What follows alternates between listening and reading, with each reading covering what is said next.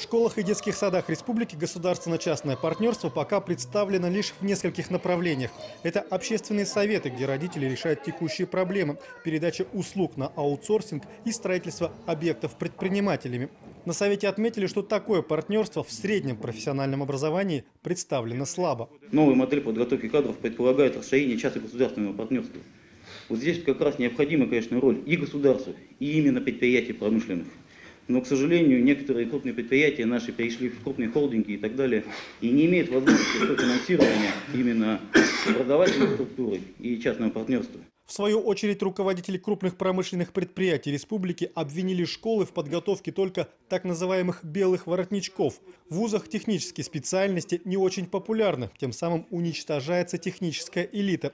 Между тем, именно малые инновационные предприятия при университетах разрабатывают и внедряют передовые технологии. Глава Бурятии призвал ученых республики делать акцент на развитии прикладной науки, чтобы разработки МИП были востребованы и сразу же внедрялись в производство. Эта наука должна подсказать у нас, э, вот, где мы должны сделать прорыв, где мы конкурентоспособны, где наша наука конкурентоспособна, где мы можем новации применить, э, инновационные виды э, товаров сделать.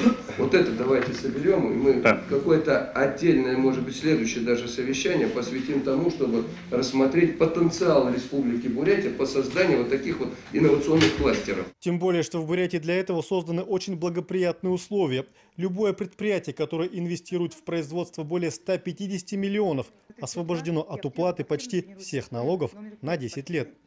Сергей Соголов, Екатерина Капустина. Новости дня.